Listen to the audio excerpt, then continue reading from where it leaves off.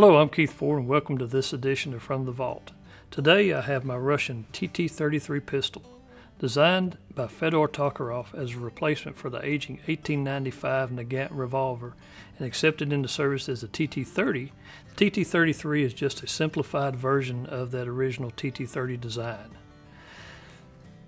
As soon as the TT-30 was accepted in service by the Russian military, they started noticing some things that they needed changed, mainly to simplify the gun and to speed up production of it. And I'll break this down and I'll show you the differences right here.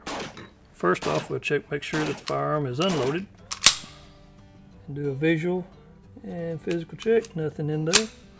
Okay, the way that you'll break this down is push this little clasp back and then push this catch out and the slide comes forward.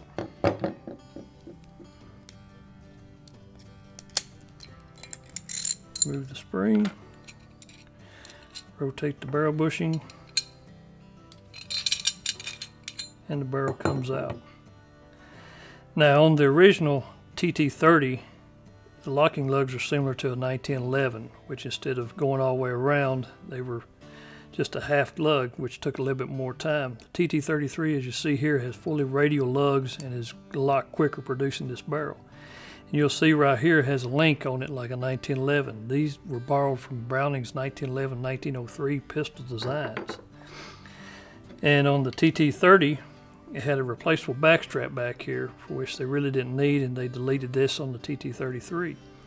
Now a very cool little piece about the TT30 and TT33 is the hammer pack right here but you can pull that out and replace that and that makes the servicing this pistol very easy. If something breaks in here in the field all you have to do is replace this pack where on a 1911 you're pulling the whole thing apart and then you just drop this back in here like that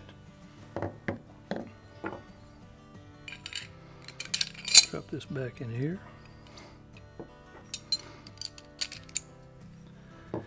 There.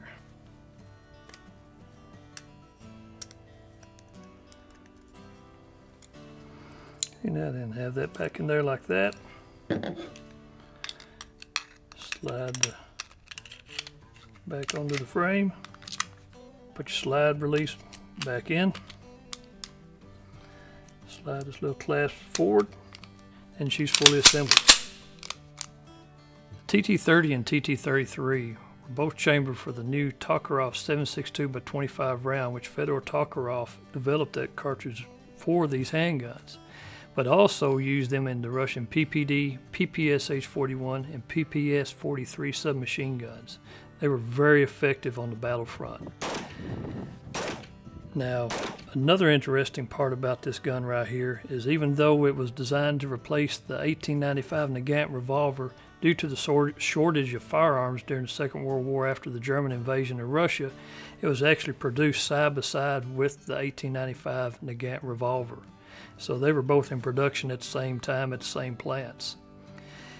Around 1951, 52, somewhere in that neighborhood, the TT-33 was finally pulled out of frontline service and was relegated back to reserves, police, and other units, but is still encountered worldwide as it's still in production in some countries today. The Makarov PM was what replaced this gun and it used a smaller cartridge, the 9x18 Makarov. We'll cover that in another episode of From the Vault. What I really find interesting about this gun is that this belonged to a friend of mine that I met several years ago, and he actually captured this. But he didn't capture in World War II. Uh, he captured it in North Korea. He was a CIA man at the time and was at the nor- in the north as the Chinese were launching the counterattack, coming back into Korea as the American forces had pushed north.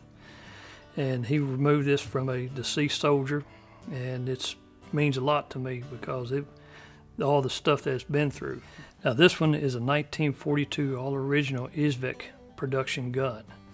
It went through the Second World War and all the way in through the Korean War and was brought home. So it that means a lot and it's pretty neat and it's fun to shoot. Thanks for watching and if you have a gun you'd like to see, just leave us a comment. We'll see you next time whenever we bring another gun from the vault.